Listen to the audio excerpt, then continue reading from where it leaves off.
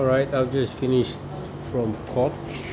Um, attended a court, uh, a notice of motion filed by former uh, chief of PNG Defense Force, who's currently under suspension, Mark Goina. He went through his lawyer uh, to file a notice of motion asking the court to compel the Prime Minister and the NEC to avail a letter from the Public Service Commission. This letter essentially says that his suspension was unlawful and um, the NEC has to revisit the decision.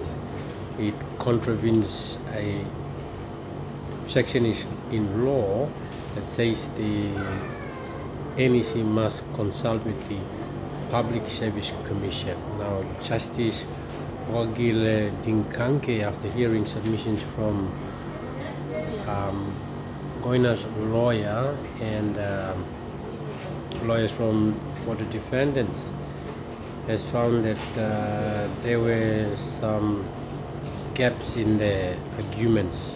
Uh, he actually dismissed the application saying it did not have any merit.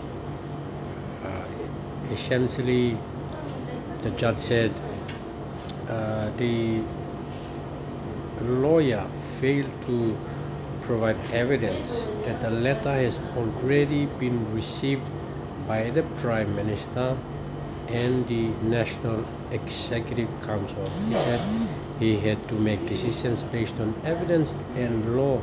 He can't make any speculative decisions.